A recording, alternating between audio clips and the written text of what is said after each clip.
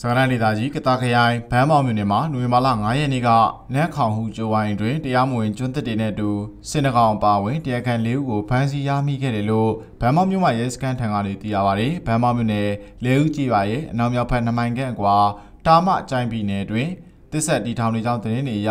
တပ်ဆိုင်ရာတတော်ကြီးဌာနနဲ့ရဲတပ်ဖွဲ့ဝင်များကတွားရောက်ဖမ်းဆီးခဲ့တာဖြစ်တယ်လို့သိရပါဗျ။ တွားရောက်ကဖမ်းဆီးရမှာဘမ်းမမြို့နယ်ဟဲချိန်အုပ်စုလဲဦးကျေးရွာနေသူလေးဦးကိုတစ်တင်နဲ့အတူဖမ်းဆီးရမိခဲ့တာပဲဖြစ်ပါတယ်။ဖမ်းဆီးရမိခဲ့တဲ့ပစ္စည်းတွေဟာကျွန်းတစ်လုံး60တလုံး36.536တန်ဝီလင်း25ကောင်အင်ဂျင်တစ်လုံးအချင်းလေးပေရှိတဲ့လွှာဝိုင်းတစ်ဝိုင်းတန်တလိပ်နှစ်ခုတန်ထော်လီဘိန်းလေးခုရှက်တန်းတစ်ခု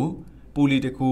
ချင်းစော့တလက်တို့ဟာတဘာတဲ့ဖမ်းဆီးရမိခဲ့တာဖြစ်တယ်လို့သိရပါတယ်။ဖြစ်စဉ်နဲ့ပတ်သက်ပြီးဘန်းမောင်မြို့နယ်တစ်တော်ဦးစီးဌာနမှ တောအုပ်မျိုးဝနာရဲ့တရားလိုပြုလုပ်တိုင်ကြားမှုကြောင့်ဘန်းမောင်မြို့မှာရဲစခန်းမှပ166မြင်းဆောင်2019တစ်တော်ဥပဒေပုံမှာ42ခါခွေမြင်းဆောင်43ကာကြီးခါခွေရာအမှုဖွင့်အရေးယူထားတယ်လို့သိရပါတယ်။